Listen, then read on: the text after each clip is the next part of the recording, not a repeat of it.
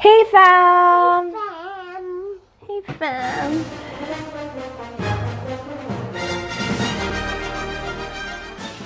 So what are we gonna make today, Shiloh? Play Play-Doh! So, bakit kami gagawa ng Play-Doh? It's Corona season and marami sa inyo nabobore sa bahay and lalo na pag meron kayong kids with you, you always have to keep them busy and lalo na, syempre gusto mo bawasan yung screen time nila.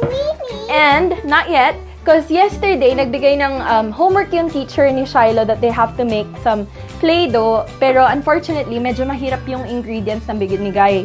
Meron pang cream of tartar and you have to cook it. And this one's an easier recipe na nanggaling sa two of my momshi friends na si Race and Thea. So this is a lot easier. I haven't tried this out, pero we'll see how it goes, okay? Can you tell me what we need?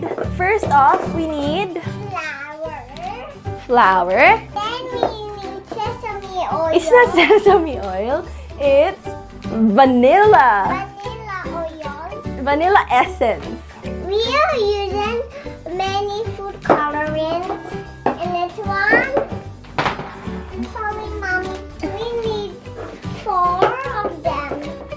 kung gaano karami yung gusto nyong gawin.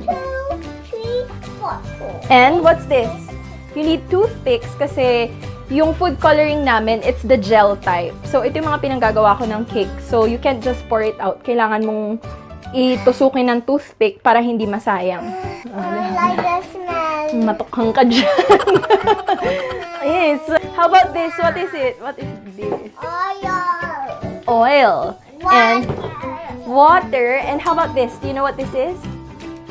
Measuring Cup.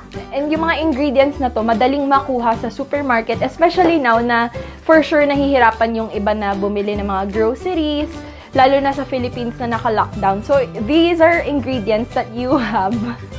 Meron ka sa bahay. So, you just need a cup of flour, 1-4 cup of salt, 1 teaspoon vegetable oil, food coloring, or tapos kailangan mo din ng scent kung mer optional naman to kung meron ka lang mga scent na gustong ilagay and a, a bit of water. So, tansya-tansya lang po yung water. So, are you ready, honey? It's on your head already. Again, this is our first time making this this recipe kasi nasanay ako na niluluto siya. So, I think this is a lot easier. Ano ba? Lagay ako ng lagay, tanggal ka ng tanggal. Can we start? At saka kasi, pinag-aaralan nila Shiloh ngayon sa school is measuring. So, it's a good way of helping your kids uh, learn how to measure and follow simple instructions, right? Can you turn on your listening ears? Listening ears on? Okay. So, you need to calm down. First, breathe in. Siyempre, pakalmahin niyo yung mga anak niyo. Breathe out. Again. Breathe in. Breathe out. Para sa inyo din to, mga moms. Kasi, syempre, pag gagawa kayo nito, dapat handa yung pasensya nyo. Kasi kayo din yung magliligpit nito pagkatapos eh. Dapat breathe in, breathe out. So first, can you say, we need one cup of flour. One cup of flour. So I'm gonna pour it, Shiloh, okay? So I think you can use any type of flour that's available sa inyong bahay. So we are using all-purpose flour because that's all we have. Mga mamshis, if you have, don't touch it yet.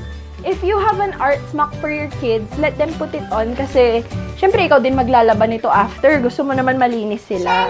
Para naman di sila mukhang espasol after. Okay, put it on. Kasya pa ba sa'yo? Hanging. Ayan, crop top. I want to do it. I want to. Okay, can you pour it?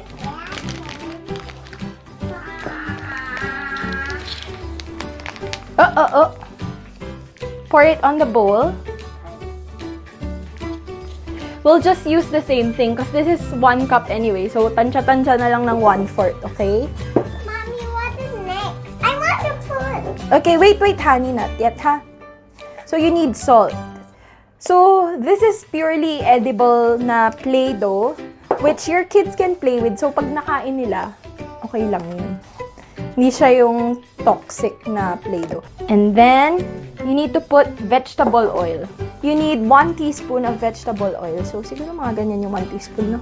Or sige, dagdagan natin. Para sure. Yan. Next is you need to put water. Tansya-tansya lang yung water kasi we don't want our Play-Doh to be so watery. Thank you. Mm. Kids love playing with Play-Doh pero you also don't want to spend that much on buying yung mga yung mga branded Play-Dohs that are slightly expensive. Tapos mamaya na lang natin lagyan ng food coloring kasi ihihiwa-hiwalay na lang natin siya. Kasi if you do it now, then lahat siya magiging one color lang. Eh, you wanna use different colors na, di ba? It's a bit dry. So, kung mapapansin nyo, look at, if you check the dough, it's still a bit dry. So, just keep adding more sa kung anong palagay nyo okay.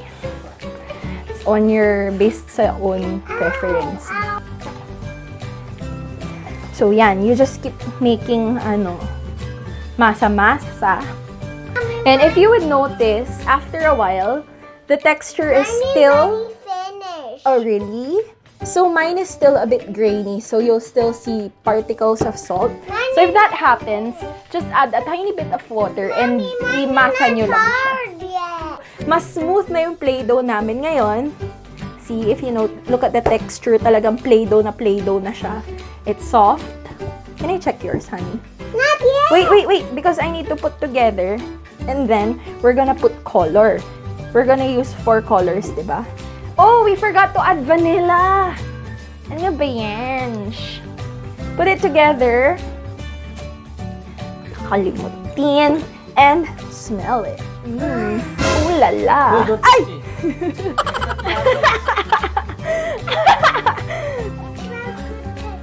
It smells good, but it's not. I want it to smell so good. So, I'm gonna add in vanilla. You can add essential oils or whatever. Kung gusto nyong shalan o pwede yung mga lavender, lavender scent, uh, chamomile, mga ganon. Pero kami, vanilla lang kasi yun yung meron kami. Now, we're gonna add the color. Are you ready? Okay. Kung meron kayong cling wrap, just use it while you add the color kasi if your if your um, table is white, ayaw nyo naman na magmancha yan sa table nyo. So, ayan. So, since we have four colors, we're just gonna half it, um, divide it into four even parts. Ayan. Even na ba? Is it even? Do you think it's all the same size? Yeah. What do you think? This one's a bit small. Okay, are you ready? I'm, yes, I am. So, I'm gonna add color. So, siguro, ano, lagyan yung hole in the middle like that. Yung gel food coloring kasi, ano to eh, it's really strong. So, yan. Okay, here. So, ay, don't use that. That's for later. Okay, now you need it. And then, tignan niyo yung color kapag lumabas na and depende sa inyo if you wanna add more or not. So, okay, can you do it? Actually, ang bango niya, in fairness. Since I used the vanilla, it smells so good. So, gusto ko sana yung kalabasan is a bit pastel-like in color. Put it in the middle, and then you fold it. You do like this. Mm, like that. Yee, I'm so excited. Medyo matagal siyang gawin. It takes, I don't know. Siguro kung magaling ka magganto. Softer in texture now. So we just added a bit more water hanggang maging so soft siya and mawala yung mga graininess nung salt.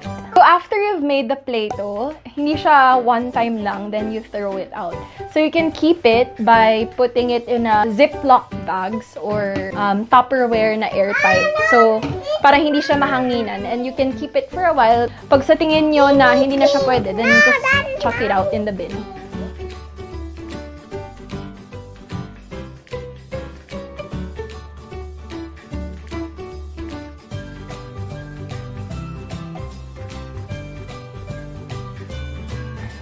And we're done! See you again next time!